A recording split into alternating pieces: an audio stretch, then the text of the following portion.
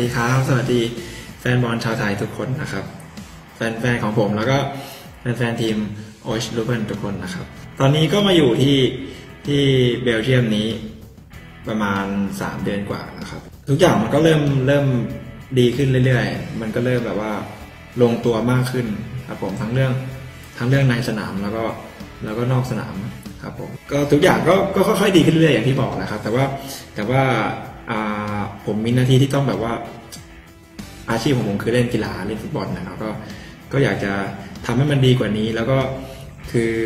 อาจจะได้ลงต่อเนื่องแหละตอนนี้ แต่ว่ามันความจริงแล้วมันก็ยังไม่ได้ยังไม่มีอะไรแน่นอนหรอกฟุตบอลมันมันมันไม่สามารถบอกได้ว่า ว่าคุณจะได้ลงตลอดหรือว่ายังไงมันก็ขึ้น มันก็คงขึ้นอยู่กับกับการฝึกซ้อมของเราด้วย แล้วก็อ่าแล้วก็เราทำได้ดีมากน้อยแค่ไหน ในแต่ละวันในการฝึกซ้อม แล้วก็ถ้าได้มีโอกาสลงไปแข่งขันเนี่ยเราเราเราก็ก็จะพยายามทำหน้าที่ที่สุดเพื่อเพื่อช่วยทีมเพื่อทำผลงานของตัวเองให้ดีที่สุดครับผมเพื่อตอบแทนทีมตอบแทนแฟนบอลนะครับ คือเหมือนพอมาอยู่นานขึ้นแล้วก็เจอกันบ่อยขึ้นเจอกันทุกวันซ้อมด้วยกันเนี่ย แล้วก็มีไปไหนกินกาแฟบ้างมีไปทำกิจกรรมร่วมกันบ้างเนี่ย มันก็ก็ดีขึ้นเรื่อยๆครับ ทุกคนก็เป็นมิตรดีแล้วก็คือส่วนใหญ่แล้ว ถ้าจะสนิทจริง ๆ ก็จะก็ก็มีหลายคนมีอยู่สามสี่คนอยู่ครับผมแต่ว่าอ่าก็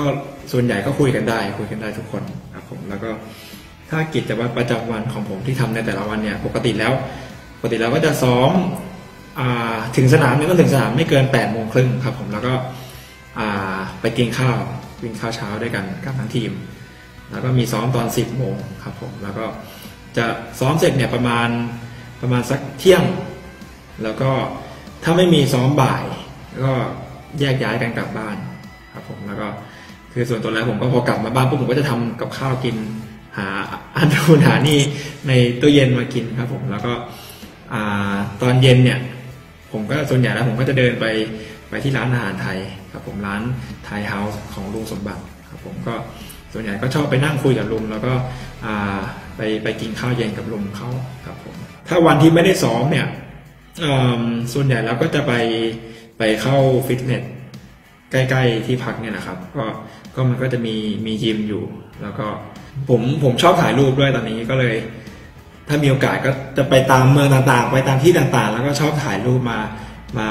อ่ามาอัพลงใน Instagram หรือไม่ก็เป็น Facebook ครับผม การฝึกซ้อมแบบฝึกอะมันมันไม่ต่างกันมากอะแต่ว่าผมมองว่าที่มันต่างกันอะคือ คือความจริงจังแล้วก็แล้วก็ทัศนคติของของนักฟุตบอลที่เนี่ยด้วยด้วยความที่เขาแบบมืออาชีพ แล้วก็เขาค่อนข้างที่จะมีการแข่งขันค่อนข้างสูงอะคือคือเหมือนเขาโดนปลูกฝังมาว่า คือในสนามเขาก็ไม่ยอมกันเลยอะมันไม่มีคำว่ามันไม่มีคำว่าพี่น้องอะคือ คือทุกคนก็ต่างที่จะอยากจะโชว์ความสามารถของตัวเองออกมาให้ให้โค้ชเห็น แล้วก็ทำทำผลงานในสนามซ้อมให้ดีที่สุดครับผมซึ่งซึ่งการแข่งขันมันค่อนข้างสูง มันมันเลยมันมันก็ค่อนข้างที่จะกดดันในทุกๆการการฝึกซ้อมแล้วก็ แล้วก็คือผมว่ามันก็เป็นสิ่งที่ดีแหละมันมันมันได้แข่งกับตัวเองแข่งกับเพื่อนร่วมทีม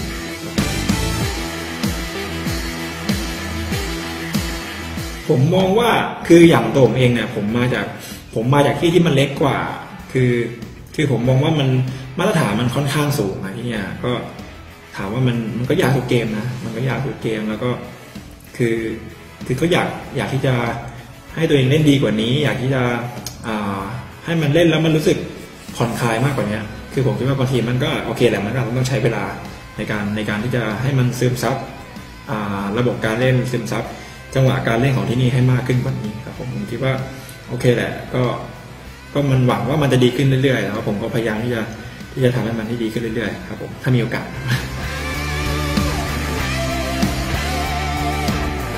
เรื่องภาษาผมคิดว่ามันไม่มีปัญหาอยู่แล้วครับผมแล้วก็ยิ่งพอได้ซ้อมกันทุกวันเจอทุกวันอย่างที่ผมบอกว่ามันมันก็ได้คุยกันมันก็เริ่มเริ่มรู้จักกันมากขึ้น เริ่มสนิทกันมากขึ้น แล้วก็คือเวลาเราสื่อสารเราก็สื่อสารกันกันเป็น ภาษาอังกฤษอยู่แล้วครับผมซึ่งก็ไมมีปัญหาอย่างที่ผมบอกไปตอนแรกครับว่าว่าจริงๆแล้วคือผมก็ยังไม่ได้คิดว่าว่าผมจะได้เล่นตลอดหรือว่ายังไง เพราะว่าว่าจริง ๆแล้วเนี่ยคือสิ่งที่ผมสิ่งที่ผมออยากจะมีสมาธิอยากจะโฟกัสกับมันก็คือ ก็คือการฝึกซ้อมในแต่ละวันมากกว่า เพราะว่าคือคืออยากทำผลงานให้ดีในสนามซ้อมก่อน แล้วก็ ส่วนจะได้ลงหรือไม่ได้ลงนั้นนะก็อยากจะก็คงจะเป็นหน้าที่ของโค้ชที่จะตัดสินใจแต่ว่า ถ้าได้ลงเนี่ยก็ก็อยากจะทำเต็มที่ อยากจะทำให้ดีที่สุด เพื่อเพื่อให้อ่าให้ทีมทำผลงานได้ดีที่สุด แล้วก็เพื่ออย่างที่บอกว่าเพื่อตอบแทนทีม เพื่อตอบแทนแฟนบอล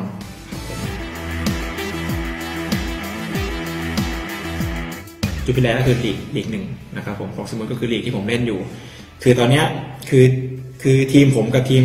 ทีมจาก Jupiler เนี่ยได้มาแข่งกันก็เพราะว่า เพราะว่าตอนนี้มันอยู่ในช่วงเพลย์ออฟที่จะแย่งตั๋วไปยูโรป้านะครับ ก็คือโอเคแหละ คือผมมองว่าเหมือนมันก็เหมือนกับดิวิชั่นหนึ่งดิวิชั่นสองบ้านเราครับผมซึ่งมันก็มีความความเร็วทักษะของผู้เล่นคุณภาพของทีมมันทีมจากดิวิชั่นหนึ่งก็ต้องดีกว่าอยู่แล้วครับผมซึ่งมันก็เป็นความท้าทายที่ที่ที่ผมและทีมต้องเจอ ครับผมแต่ว่าผมว่ามันก็มันก็เป็นความท้าทายแล้วมันก็สนุกดีครับผมซึ่งซึ่งมันก็ดีที่เราได้เจอคนที่แข็งแกร่งกว่าครับผมเขามีจิตวิทยาในในในการทำทีมครับ คือผมว่าเขาเป็นเป็นโค้ชที่ดีคนหนึ่งเลยครับ ผมเขาค่อนข้างที่จะที่จะแคร์ลูกทีม แล้วก็คือคือเขาก็บอกผมตลอดแหล้วว่าถ้ามีปัญหาอะไรไม่ว่าจะเป็นในสนามหรือนอกสนามมาแบบไม่อยากให้ผมเก็บไว้ก็อยากจะให้ ให้ให้มาปรึกษาเขาได้เลยครับผมซึ่งซึ่งความจริงแล้วแค่เขาพูดแค่นี้แล้วมันมันก็ทำให้ผมสบายใจขึ้นในตรงที่ว่าโอเคแหละอย่างน้อย อย่างน้อยเราก็เออเขาก็เขาก็ให้ความเขาเรียกว่าอะไรอะเขาก็ให้ความอ่าเป็นกันเองกับเราอะครับผมซึ่งซึ่งก็ทำให้เราสบายใจมากขึ้นครับผมแล้วก็คือเขาก็เป็นโค้ชที่ดีคนหนึ่งครับผมก็ดีใจที่ได้มีโอกาสร่วมงานกับกับอ่าโค้ชอย่าง Nigel Pearson ครับผมก็ ยังไงตอนนี้การแข่งขันเพลย์ออฟก็ยังเหลืออีก 5 แมตช์ครับผม ก็ยังไงฝากติดตาม ผมติดตามทีมโอชลูเบนด้วยนะครับ สวัสดีครับ